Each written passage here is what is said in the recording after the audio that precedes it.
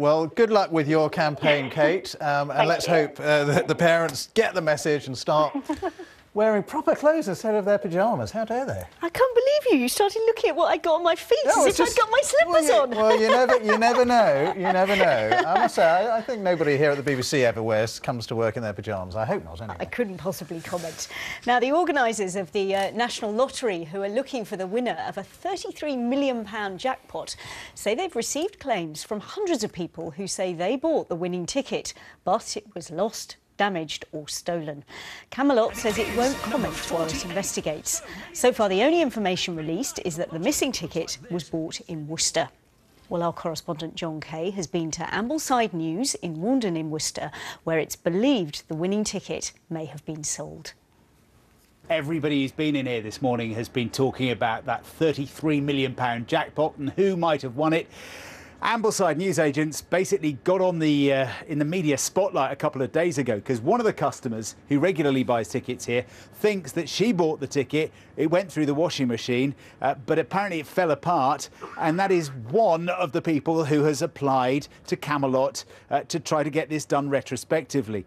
But since she came forward and named this newsagent, several other people have come forward as well to say that they think that they came in here and bought the ticket. Mr. and Mrs. Patel are the newsagents. Uh, morning to you. Good morning. You've had a lot of people getting in touch. We have, yes.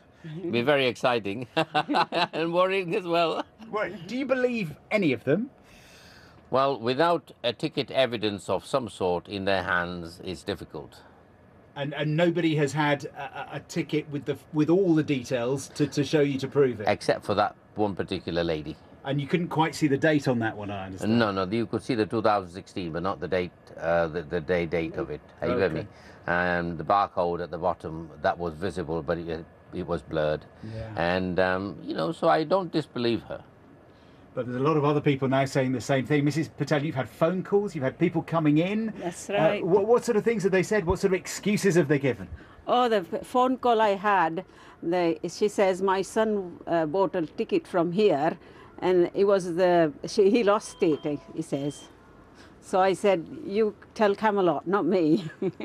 And you've had other people coming in as well who, who- Yeah, who think it, it could be them. yeah, that lady came and she says, uh, "Do you know I bought ticket off you? You served me," she says.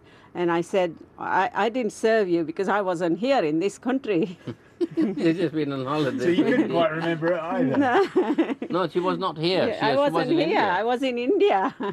I mean, what I've noticed this morning is a lot of people coming in to buy milk or a newspaper are also buying lottery tickets at the Lottery, moment. yes. Are you selling more tickets because of all this? We have had Yeah, we have infl- had it. yeah, yeah, we've had extra inflow, definitely.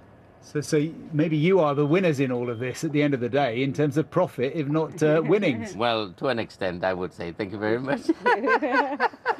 That's the biggest smile in Worcester. Thank Well, you we- very much indeed. We've only been here 27 years, and I hope we've served the public well over the years. So um, it's nice to be able to do that. Okay, well, uh, among the, uh, I'll get out of your way, somebody else coming in for a ticket maybe. Uh, among the uh, newspapers that are being sold here today, look, it's front page news here on the Worcester News. Hundreds of claims for that £33 million lotto jackpot. Uh, Camelot are not giving details. They won't even confirm that this is where the winning ticket was sold because that's all part of the verification process about working out exactly uh, which claims are valid, if indeed any of them are. Because, of course, it's perfectly possible that of the hundreds of people who've come forward who say, look, it might have been me, or uh, the dog ate it, or the children swallowed it, or whatever, uh, that in fact none of them are the owners of the actual ticket, and the real ticket owner might still be out there unknowing. But uh, they've still got a few weeks or months. We haven't got a winner, have we? uh, the real winner might still be out there, uh, totally unaware. Might even be watching us right now. Who knows? Might be Who knows? Well, except Yeah. I wasn't in Worcester, unfortunately, on No, the day. no, but never mind. I. Apart from that, Dream on. Time for a look at the weather now. And uh, over at the BBC Weather Centre, it's John. Hi there, John.